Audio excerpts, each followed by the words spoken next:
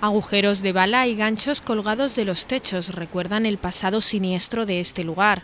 Tras su fachada de taller mecánico en un barrio de Buenos Aires, Automotores Orleti escondió el secuestro y tortura de unas 200 personas durante los años 70.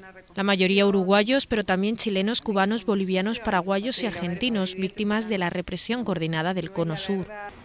Aquí estuvieron detenidos, por ejemplo, el hijo y la nuera del poeta argentino Juan Gelman, quien hace una década recuperó a su nieta nacida en cautiverio en Uruguay.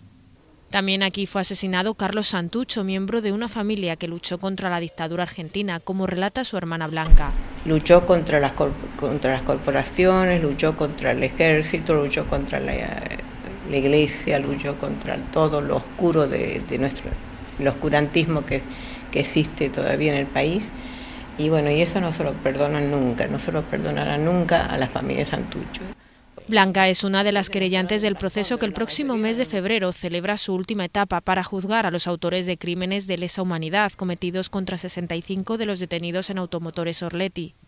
El ruido de las vías del tren situados frente al lugar fueron clave para descubrir esta cárcel clandestina que ahora se propone como un espacio para la memoria urbana.